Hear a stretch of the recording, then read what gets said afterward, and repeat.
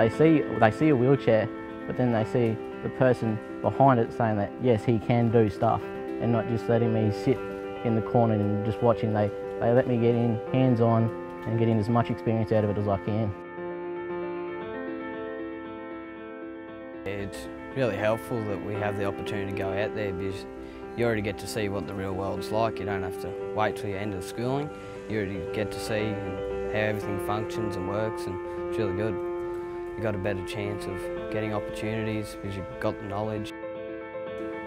I really like teaching because, especially these trades, because it shows students that there's more to a working life and a fulfilling career than pursuing the academic university route. Uh, I think it's only about one third of students go to university and, and two thirds into trades and the, and the workforce. So we start off with a lot of basic skills and just learning what machines do, what different hand tools do and how they're used within the industry. We're focused on getting kids into those engineering and manufacturing types of industries and Dalby's a really lucky place because we have a huge number of those types of businesses around. And that's from doing work experience right through to traineeships and school-based apprenticeships. Our desire, you know, as a business is to um, have skilled people enter our business. So we get exposed to a whole range of people that we probably may not be exposed to.